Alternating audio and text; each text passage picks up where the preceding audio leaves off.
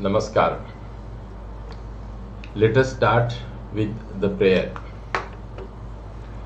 ॐ सहनावतु सहनौ भुनक्तु सह वीर्यं कर्वावहै तेजस्विनावदितमस्तु मा विद्विषावहै ॐ शान्ति शान्ति शान्तिः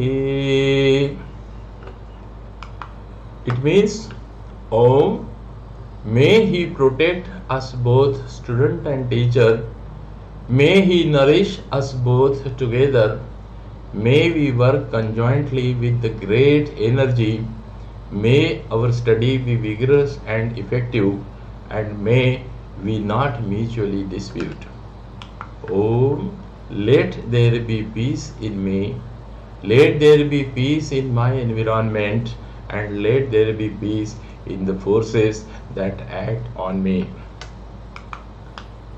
Dear students, today we are going to discuss on the tuberculosis of the knee joint.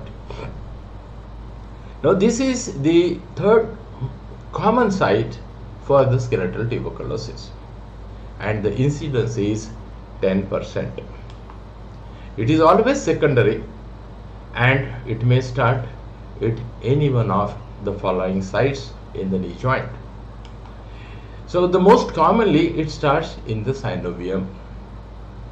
Then it may also start at the subchondral bone of the distal femur, proximal tibia or the patella. And there may be a juxtaarticular osseous foci. The infection so developed results in the tubercle formation and the synovium undergoes hypertrophy forming a pannus and this pannus destroys the articular cartilage of the joint and results in to fibrous ankylosis. Flexion. Now there are five classical deformities described which one may get in a case of a tuberculosis of the knee. The first is the flexion flexion of the knee joint. Second the posterior subluxation. Then third the lateral subluxation. The fourth one the lateral rotation. And the fifth one the abduction of the tibia. And the above deformities are due to the spasm and contracture of the hamstring muscles. Now classically though there are five deformities but then as a standard teaching we call it as a triple deformity or a quadruple deformity. We will see it in the later slides. Now coming to the clinical features of tuberculosis of the knee the disease is insidious in onset showing systemic and local features of tuberculosis the joint shows effusion and the evidence of synovial hypertrophy. The swelling is white in color. There is tenderness along the joint line and the synovial reflections. During the synovial stage, the movements are reduced and painful.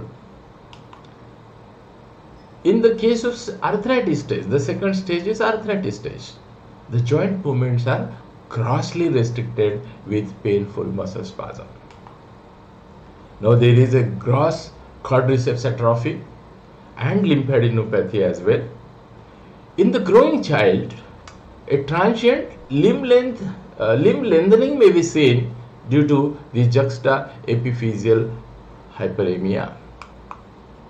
Now in case of the advanced stage of the disease, the triple deformity. Actually, what I told you, it is a quadruple deformity, rather five deformities. So the triple deformity is seen. The pathomechanics of the development of this deformity is very interesting. Let us see that. So initially, to accommodate for the increased swelling due to synovitis, knee joint assumes the flexion attitude as it is the position of ease and maximum capacity. The external rotation deformity develops as the patient keeps the lower limb externally rotated from hip and in this particular position gravity assisted iliotibial band contracture subluxates the tibiofemoral uh, joint.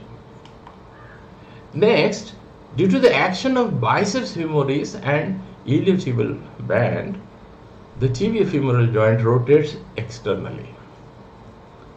The above deformities forces further pull of the leg into valgus and thus the triple deformity, classical triple deformity develops. Coming to the investigation part, the general investigations like hemoglobin percentage, the total blood count, the complete blood pictures, they all reveal the chronicity of the infection. The main invest the investigation is the radiograph, X-rays. Now the radiograph shows osteoporosis in the bone adjacent to the joint. Because of the inflamed synovium, there is more vascularity around articular surfaces. That is why there is an osteoporosis adjacent to the joint. In advanced stages, there is a reduction in the joint space as what you can see in this particular X-ray. The next investigation is the biopsy. Biopsy gives definitive diagnosis and the material is obtained either by the incisional biopsy or using aspiration cytology or by needle biopsy. Now the treatment as far as the treatment part is concerned we can divide it into two the non-operative or the conservative treatment and the surgical treatment. Now the non-operative treatment is indicated in children and particularly in the stage of synovitis. It consists of chemotherapy, traction and joint aspiration. Now the skin traction, it helps to prevent the triple deformity. And if at all some deformity has developed, it corrects the deformity. And most important, it keeps the joint surfaces distracted so that the tendency of ankylosis is prevented. So, if the patient has come to you in the stage of synovitis, start with chemotherapy, apply the traction, do the joint aspiration. Now when the active disease symptoms decrease with this particular treatment, then active and assisted exercises of the knee can be advised. Patient is advised for a crutch walking only after 12 weeks of the treatment for 6 to 12 months. Please remember we are not advising a patient for full weight bearing on the diseased articular surface because it may go for a deformity. Then protected weight bearing for 18 to 24 months is advised. If the disease is not responding favorably with all this sort of treatment, then arthrotomy and synovectomy has to be done. Early, if the patient has come to you in a stage of early arthritis, that is second stage, then the treatment modules include synovectomy, joint debridement, curettage of the juxta-articular foci. And post-operative regimen includes the drug therapy, traction, exercises and suitable braces. Now if the patient comes to you in a stage of advanced arthritis, then in advanced arthritis, arthrodesis is the treatment of choice.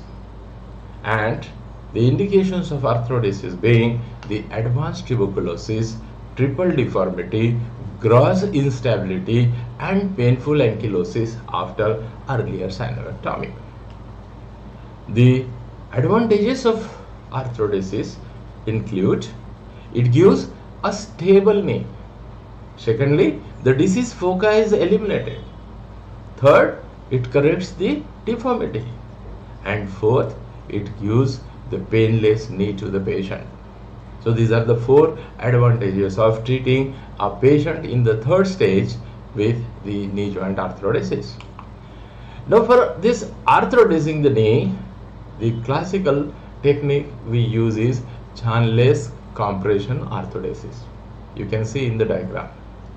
Here the diseased tissue is cleared and the compression is applied putting on the pins and these compression pins are removed at 4 weeks. Patient is encouraged to walk after 4 weeks. It will promote the uh, union of the bones across the joint. Now, some people have also suggested the supracondylar osteotomy. What is the role of supracondylar osteotomy? Now, this is indicated in the situation where the disease has healed with painless fibrous ankylosis but in an unacceptable position and there may be a valgus or the varus deformity. Now in such case the supracondylar osteotomy is preferred to correct this varus and valgus deformity and finally the arthroplasty is also being tried without much success. That is all about the knee joint tuberculosis. I hope it will help you to write a short essay in your examination using this much information. We are not repeating the chemotherapy part because we have already covered it in our previous lectures. Thank you.